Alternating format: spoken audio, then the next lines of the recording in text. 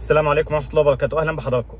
النهارده هنتكلم عن توصيل جهاز هاتف سامسونج آه، على أندرويد أوتو. ومش سامسونج موديل معين لا ده سامسونج اللي هو أندرويد 14 أندرويد 14 وده طبعا بيبقى الأندرويد ده هو بيعتبر على أغلب الأجهزة الحديثة اللي السامسونج نازلة اللي هي الإيهات والإسات والحاجات اللي نازلة دي والإم كمان والحاجات دي. وهنعرف بالتفصيل بيتوصل إزاي والطريقة سهلة جدا وإن شاء الله تعجب حضراتكم. يلا نشوف الطريقة إزاي بإذن الله. يلا بينا.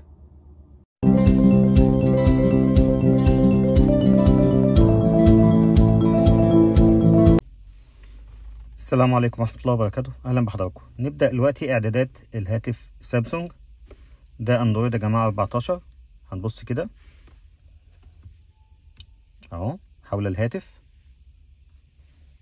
نجيب معلومات البرنامج. أهو يا جماعة إصدار 14 أهو. أندرويد إصدار 14 نبدأ بقى الخروج من القائمة دي خالص. أول حاجة هنعمل إعدادات المطور. هنشوف الضبط اللي هو السيتنجز اللي هو الضبط. هنيجي على علامة الترس يا جماعة اللي إحنا عارفينها دي. هندوس عليها كده. في السامسونج بنجيبها منين؟ بنسحب من فوق. وبعدين نلاقي علامة الترس هنا اللي هي الضبط. هنلاقي كلمة الضبط. هنوصل ننزل حول الهاتف. آخر حاجة. وبعدين هنا نجيب معلومات البرنامج. أهو يا جماعة شايفين هنا معلومات البرنامج. وبعدين نجيب هنا حاجة اسمها الإصدار. استنى كده. رقم الإصدار. أيوه يا جماعة نجيب هنا رقم الإصدار أهو. ندوس عليه كده. عدة مرات. أنت لبعد خطوة واحدة من أن تكون مطور برامج. نفتح طبعا اللوك بتاع الشاشة اللي هو قفل الشاشة. لقد تم تفعيل وضع المطور. أهو. نقوم نخرج خالص ونيجي نرفع برضو عن نيجي عند الضبط تاني اللي هو ده. وننزل ندور على وضع المطور فين. أهي. كان آخر حاجة عندي يا جماعة هنا حول الهاتف. دلوقتي زادت حاجة اللي هي خيارات المطور. أقوم دايس عليها.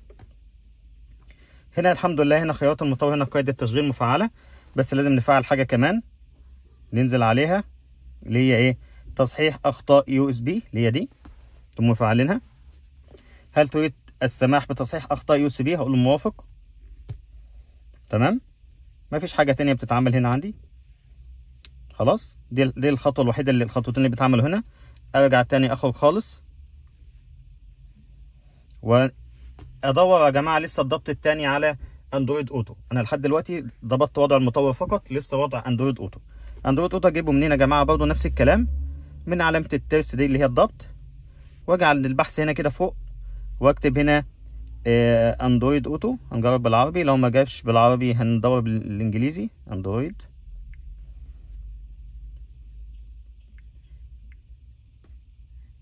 هنا ما ما جابش حاجة. ممكن ندور بالإنجليزي. And Android Auto حتى أنا كاتب من قبل ما اكمل ادي كلمة Android Auto أهو. هدوس عليه. هنا جاب لي الأجهزة المتصلة. هنلاقي هنا يا جماعة هنا تحت الأجهزة المتصلة هنا هنلاقي حاجة اسمها Android Auto أهو. دوس نخش عليها. كده دخل لي على البرنامج نفسه. البرنامج ده يا جماعة قلت لحضراتكم إن ما بيبقاش ظاهر على سطح المكتب. وفي فيديو إحنا عاملينه سابق إزاي تظهره على سطح المكتب أو على سطح التليفون أو على سطح شاشة التليفون.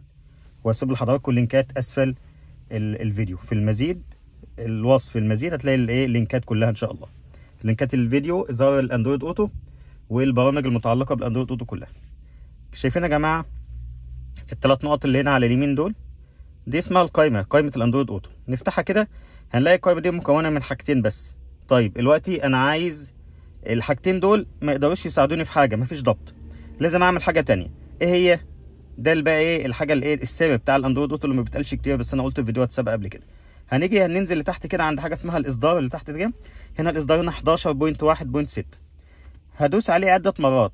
يعني مثلا 1 2 3 4 5 6 7 8 9 10 في العشرة هنا قال لي إيه؟ هل تريد السماح لإعدادات التطوير؟ مكتوب هنا هذه الإعدادات مخصصة لاستخدام التطوير فقط. ماشي؟ هقول له حسنا. تمام؟ بعد ما قلت حسنا تم تفعيل وضع مطور البرامج. وضع مطور البرامج يا جماعة ده لأندرويد أوتو فقط. وضع مطور البرامج لأندرويد أوتو فقط. تمام؟ هاجي أرجع تاني اطلع فوق تاني. وأدوس على الثلاث نقط اللي فوق عندي هنا دول. أهم ثلاث نقط دول اللي هو القايمه الجانبية اللي فوق. أدوس عليها. آه بعد ما كانت ال- القايمه دي مكونة من من حاجتين. بقت مكونة من أربع حاجات. أنا مش هحتاج من دي حاجة إلا إعدادات مطور البرامج. أقوم دايس عليها كده. هنا مكتوب الإصدار اللاسلكي لو عندك الشاشة اللي هي ال wireless ممكن هنا تشتغل على طول wireless. تمام. وضع التطبيق. هنا وضع التطبيق هنا مكتوب عليه إيه؟ كذا اختيار. إصدار ومطور ومش عارف إيه إيه كده. لا أنا عايز أهم حاجة أخليه مطور. اللي هي تاني حاجة ده. بقى وضع التطبيق هنا مطور. نهار وليل هخليه نهار. عشان الشاشة ب... ب... يعني الإضاءة بت... بتقل وبت... وبتزيد فعشان إيه ما. ما تضايقكش ال- الحاجات دي يعني. ننزل تحت حاجة آه هنا في حاجة تانية. دقة الفيديو نعملها أعلى حاجة. ومصادر غير معروفة يا جماعة هنفعلها. دي مهمة جدا مصادر غير معروفة. خلاص؟ حاجة تانية هنا؟ لا هنا مفيش حاجة كده تمام. خلاص نخرج خالص. نخرج خالص كده خرجنا. نشوف هنا اي إعدادات تانية. هنا الوضع النهاري الخرائط التلقائي لا خليه يا جماعة نخليه وضع نهاري بس عشان الشاشة ال- الإضاءة بتاعتها ثابتة. الأندرويد أوتو التلقائي نخليه تلقائي زي ما هو.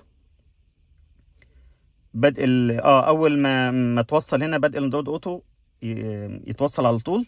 مش محتاج حاجة أنت هنا تاني. ما توصلش يعني يعني يشوف الأندرويد أوتو على طول. كده خلاص. نبدأ كده يا جماعة التوصيل على الشاشة. كده خلصنا كل حاجة. ونبدأ التوصيل على الشاشة. يلا بينا. يلا. السلام عليكم ورحمة الله. أهلا بحضراتكم مرة أخرى. بعد ما وصلنا ال ال بعد ما عملنا إعدادات ال Android Auto خلاص على الهاتف لسه في إعدادات تانية يا جماعة على الشاشة. والإعدادات دي بتتعمل مرة واحدة فقط مش بتتعمل كل مرة. أول حاجة هنوصل الكابل في المكان المخصص ل Android Auto. ال- طبعا أغلب السيارات بيبقى فيها USB أو اتنين USB بيبقى واحد منهم يا جماعة مخصص فقط ل Android Auto واحد فقط بس. ويبقى عليه علامة معينة كده يعني لل Android Auto. والتاني بقى بس وبرضه بيشغل الميديا وبيشغل الحاجات دي. خلاص؟ نبدأ نوصل الجهاز بتاعنا خلاص؟ نوصل الكابل ونوصل الكابل بتاعنا عادي يا جماعة أهو. وصلنا كده؟ هنشوف اللي هيظهر ظهر الشحن عندي. أول ما وصلت يا جماعة لوحده. ما عملتش حاجة أهو. مواصلة عملية الإعداد على شاشة سيارتك. أهو. يعني معناه إيه؟ يعني أنت كمل الإعدادات دي يا جماعة على شاشة السيارة. هنا هنا قال لي إيه؟ مرحبا بك في Android Auto. أقول له حسنا. سيعمل Android Auto على تفعيل البلوتوث وإقران الهاتف ويزامن وسيزامن أيضا جهات الاتصال مع هذه السيارة. أقول له متابعة. هنا قال لي اتصال البلوتوث مفصول بس توصل بالفعل يعني؟ اهو يا جماعة. على طول الأندرويد أوتو دخل على طول بدون أي مشاكل وبطريقة سهلة جدا جدا جدا. تمام؟ حتى هنا إيه دخل خد الإعدادات كلها. هنا يا جماعة دي الإعدادات الأولية بتاعتي. شايفين يا جماعة القايمة دي؟ هندوس عليها. هنا عندي الإعدادات بتاعتي كلها. ودي اللي هو السمارت سينك بتاع ال- ال- السامسونج ودخل كل البرامج عندي هي مثبته عندي كلها اهي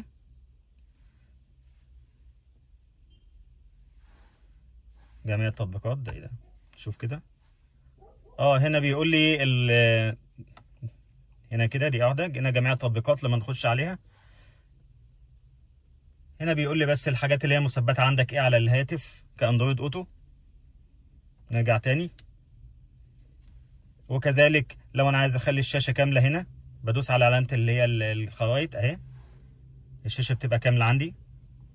إعدادات سهلة جدا يا جماعة بالنسبة لتليفون السامسونج وبالنسبة للاندرويد 14 نرجع تاني. هنا طبعا ال- الموسيقى دي مش مش موجودة لأن زي ما حضراتكم شايفين هنا أنغامي لو أنا عايز أفعله كده. أهو.